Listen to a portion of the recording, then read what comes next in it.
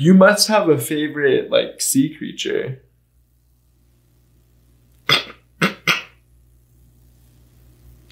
right? Uh, yeah, What's your favorite sea creature?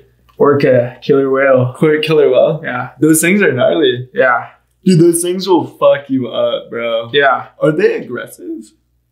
Ye- I mean, they can be. I mean, I know. I mean, I know a bunch of random facts, and I know a lot of random facts about orcas and sharks. How long is an orca?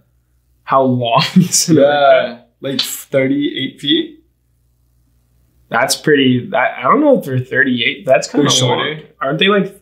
I know they're in the probably in the 20s and 30 feet. Like Okay, like ranges. 32 feet. Probably, I don't know. Probably somewhere in that range. I don't know that. Like I know. Uh, I know how they hunt. Like How do they hunt? so orcas in like Alaska, they hunt in pods, and um, if there's a lack of food, they'll actually eat other orcas too. Um, but what they do is, is they kind of corral their food. So if they're hurting like a bigger creature, like a shark or a whale, they'll have like uh, two or three orcas from the pod that kind of surround the creature. So if the creature's in the middle, they'll kind of like have like those orcas do laps around the creature, kind of trying to slow them down a bit. And then while those orcas are doing circles around the creature, there's another orca that dives underneath and it goes down. I don't know exactly how deep, but it rushes up extremely fast and it hits whatever creature it is to try and flip it. So, like if it's a shark or a whale, and you know, an orca comes up swimming as fast as it can from down below, hits it, flips it, immobilizes it, and they all go to town on it and eat it. No. Yeah. And so if, if food is scarce, they'll eat other orcas and you know, they got sea lions and sharks and and I honestly I think they're the real kings of the ocean. I mean, it sounds like it. Yeah. You're telling me they hunt like that? Yeah. They're commu- They're talking to each other because Mhm. there's no way that's instinct at that point. It's like, yo, you do this, you do that, I'll do this. Yeah, Like, they- they, they- must be vocal. Yeah. No, is that Yeah. echolocation Yeah. Underwater? Mm-hmm. They hear the vibrations or some shit. Yep. And they're deciphering words. Can they understand words? Not our words, their own words. So they have their own language. Yeah. No. I'm sure they have to. How else would they be able to they have to communicate? How else would a how else would a a, a child orca know that it's their parent if they can't communicate? You know? Does it say hi mom, hi dad in its own language? Probably something like that in its own language. They say that whales can use more of their brains than we can, which is weird because like we have society, so like I don't know how much how much smarter they are because like I don't know. They would have Never seen a talking dolphin before. so I, I, I I've always heard that. So it's like, oh, they use more of their brains. Like, okay, like, which part? I mean, I guess it is possible. And they kind of like got fucked over because they never got like fingers and shit.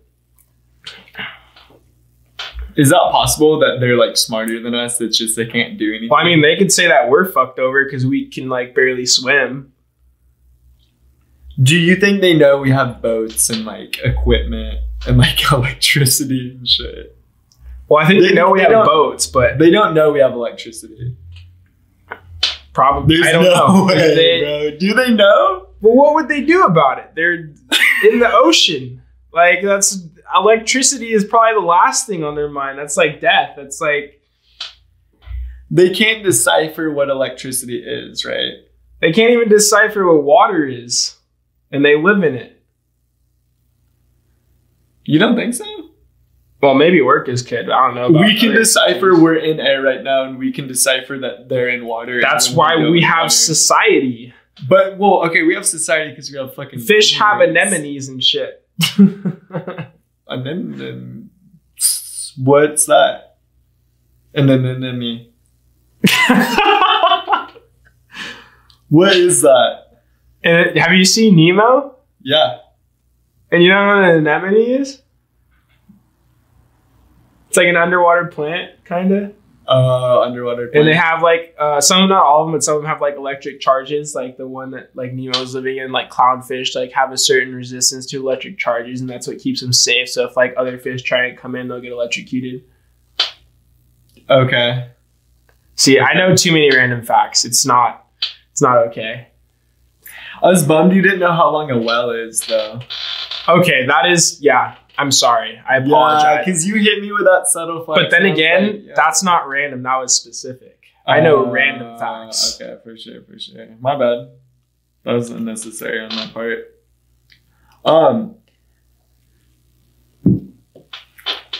Okay, so you're saying due to the fact that there's a creature of that plant thing that you just said, it's they might know what electricity is. Yeah. I guess there's eels too. Yeah, yeah. The eels are. Yeah, that is true. Yeah, eels are electric. Yeah, they have electric eels. Oh, and clownfish can also change gender too. That's crazy. Yeah, Squid are hella smart. yeah. Like insanely smart, right? Aren't they the aren't squid the smartest? Supposedly, but I don't know where Squid Society is if if they got all this stuff going on.